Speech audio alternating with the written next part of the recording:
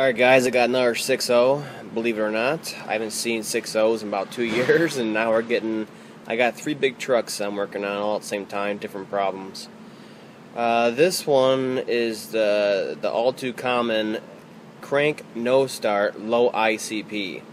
If you have a no start and you have these codes for ICP too low, that's what it's seeing during cranking. Now this one's cold, usually happens when it's hot.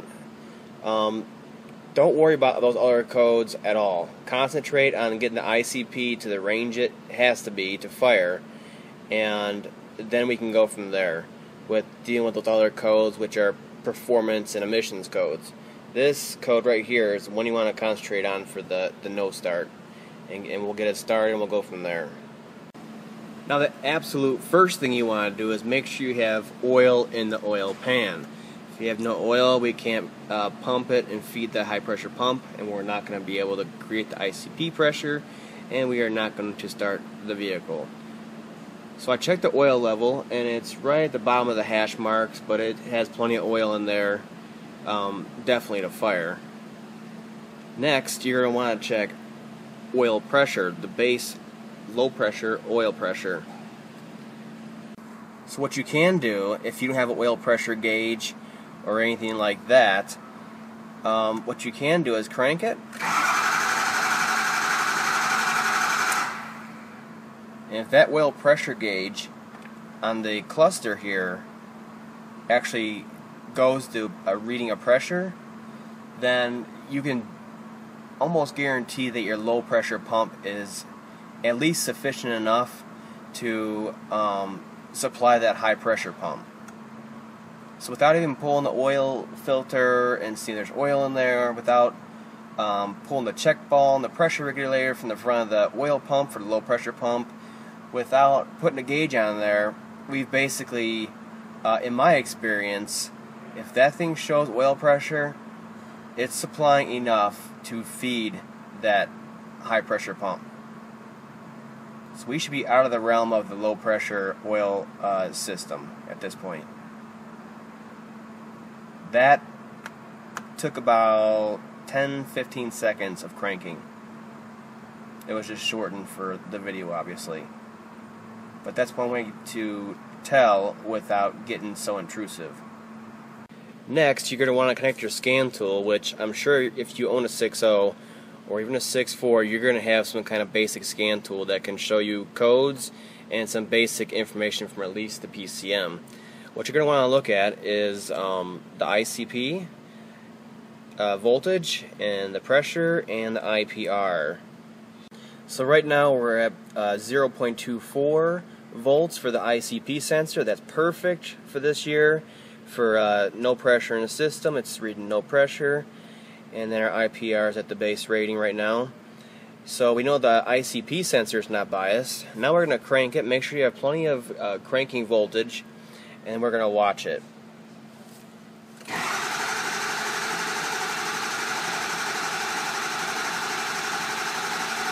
IPR is fully closed off and we're only getting 30 psi if we're lucky. With it being that low, the next step would be to do a high pressure oil rail air test and uh, I'll, I'll show you how to do that next. The good thing is that 04 and a quarter on, they moved the ICP sensor up here to the very front of the valve cover next to the oil fill spout here. Uh, makes it a lot easier, but then they introduced all those new problems with the new uh, high pressure oil rail design and all that for the leaks. So, and uh, high pop fitting in the back too. So, come over here, Get the connector off of there. Is where we're going to put the air into to do the high pressure test, air test. And then unscrew your ICP sensor. It's a 15 16ths. Get that out of the way. You're going to have a little bit of oil leakage. And then you're going to have your um, test adapter, which Ford calls out for, and an air fitting on here for your air compressor system. Screw it into the same port.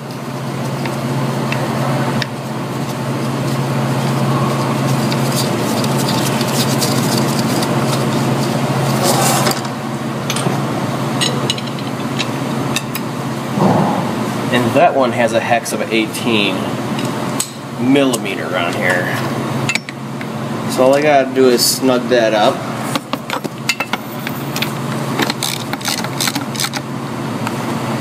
Snug it up a little bit. Alright, make sure that your fitting for your airline that goes on there has uh, some kind of thread sealing on there so you don't get no air leaks from right here and we're, you know, none of this has air leaks so we're confused where the air leak is coming from. So I got air on there, 150 psi, whatever it is, shop air, and you could hear it out of the oil fill cap. So you can listen. And now I'm going to turn on the IPR.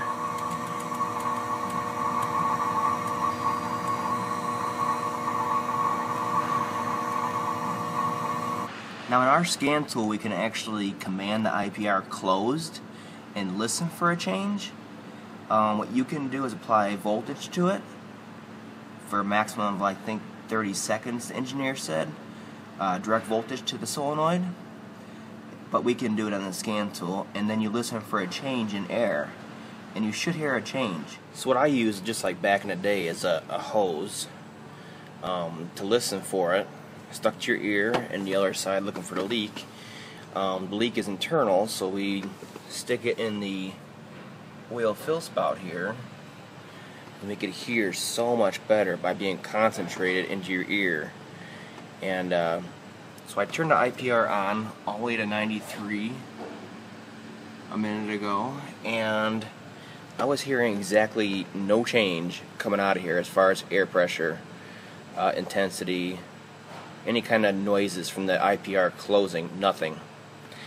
So I heard the IPR um, moving as far as um, you hear like this high pitched noise when I command it, but um, zero air air noise change.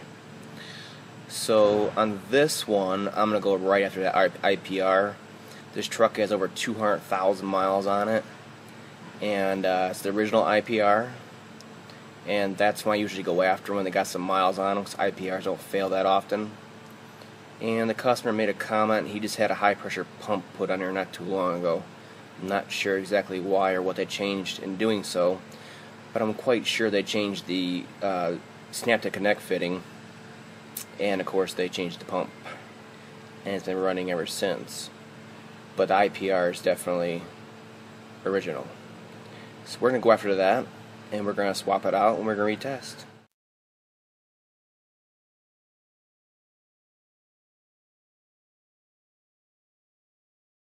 Alright, we're going to crank it right now, and we'll see if I uh, fix it or not. Gonna take a while. We're building the ICP. Everything's great.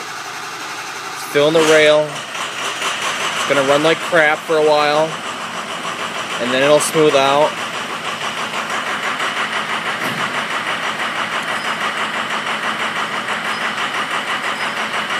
You see how it's running right now? One of these cylinders has too much air in it. The high pressure oil rail.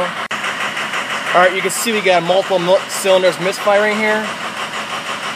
That's from the air in the system. Don't fret about it. Rev it up a couple times and they should clear out one by one or all at once.